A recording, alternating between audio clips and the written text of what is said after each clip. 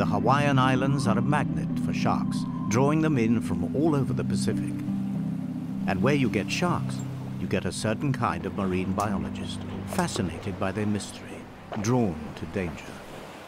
I started off working with hammerhead sharks and thought that they were this ungainly, ugly, strange animal, and over the years have come to just admire it tremendously for its sophistication and maneuverability and absolutely antithesis of being ungainly. Kim Holland has been studying sharks in Hawaii for nearly 20 years. When you're dealing with any large shark, you've got your hands full. Kim started looking for a connection between their biology and shark attacks on people. By understanding their movements and feeding behavior, he hoped to learn what makes some sharks dangerous.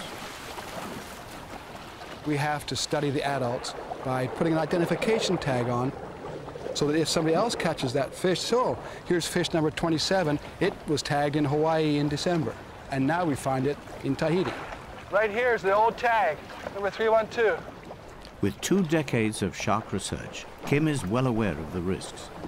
Because they're such a big animal, yeah, you have to be careful and you have to take your time and, and get it right.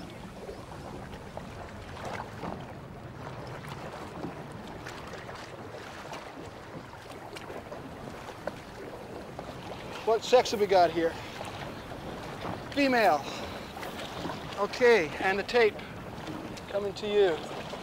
Turning sharks on their back is one of the tricks of Kim's trade. It puts them into a trance-like state. No one knows exactly why this happens, but it makes tagging and measuring an adult tiger shark possible.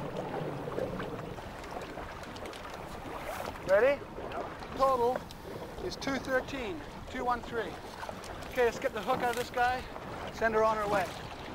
Three.